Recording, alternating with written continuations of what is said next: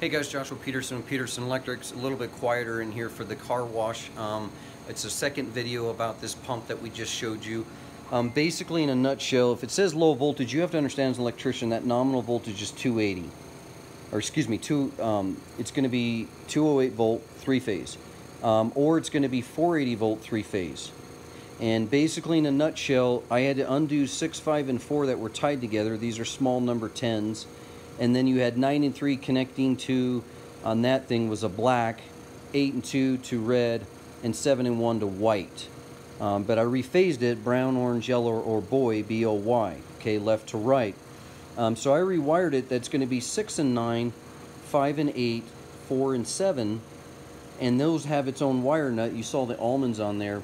And then you're going to have um, your black to 3 which is your brown your red to to 2, which is going to be your orange, and your yellow, which was going to be white to yellow or, or 1. So let's go look at that real quick. I hope this doesn't kick on. Um, again, guys, sorry I can't control them turning everything off if it kicks on. But bottom line right here, guys, um, the wire caps, we're just going to use blues because they're only running 20 amps, so it's not a big deal. And then as we tighten all these up here, you'll see that this is 2. I put my own numbers on them you'll see this is a 1 and this is a 3. And then these guys back here, the color coding is really just not really helpful. It's You have to tag these yourself just so you don't mix it up. But 6 and 9, and then you had 4 and 7, and uh, 5 and 8. And so if you look on that, um, that metal diagram I just had, the cover, it would 6 and 9, 5 and 8, 4 and 7. So you can see right here that your white, you're just going to have one wire to your large conductor coming up feeding from the disconnect, your line in, okay? So anyways, I'm just trying to explain that schematic to you.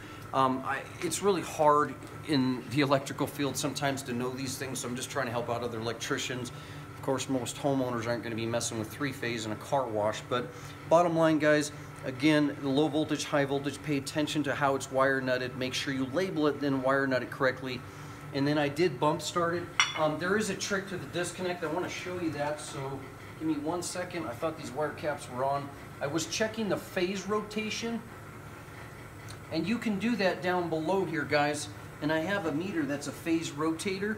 Um, the battery just died, so I'm going to do that. But it basically states that there's an L1, L2, and L3, and you're going to line those up correctly. And when you have them, you're going to be going L1, L2, L3, left to right.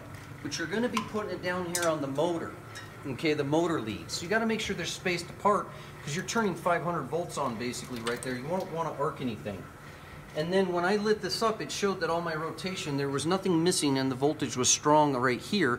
But down below here, I have a dead battery that I just got this shipped to me. So it's 0.9, so I need a 9.2 battery. So this is dead. So we're gonna go ahead and hit that button and check which rotation. I already know that this is turning counterclockwise towards me. But I do need to verify with these guys here, which I don't think any of these maintenance guys know. But my assumption is it does need to rotate this way because the fluid's gonna come this way in here and up and through, and then there's a shut-off valve for the water.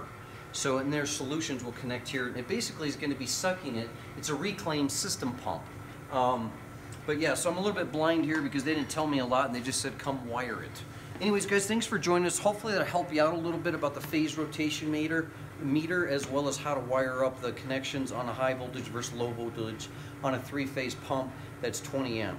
Uh, the video was done in December 2017. Thanks, guys.